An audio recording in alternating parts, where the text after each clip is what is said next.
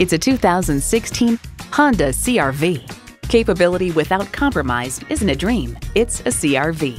It comes with great features you'll love.